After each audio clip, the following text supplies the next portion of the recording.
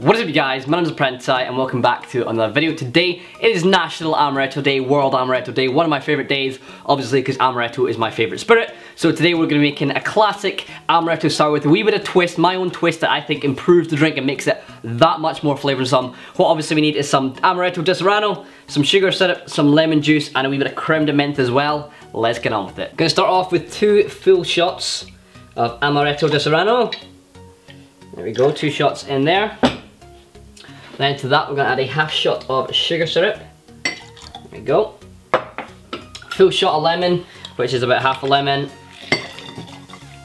In there. And just a wee half shot of creme de menthe. There we go. Everything to tin, secure with a nice hard cap. And a nice long hard shake. Gonna strain this into our glass now.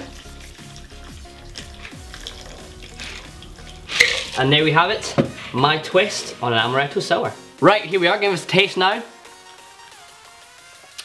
I love this. Full flavour, very vibrant.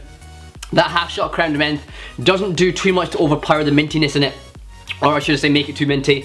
And the balance of the amaretto, the sweet and sour, obviously it's a classic amaretto sour with a bit, bit of a twist, I love it. Mmm.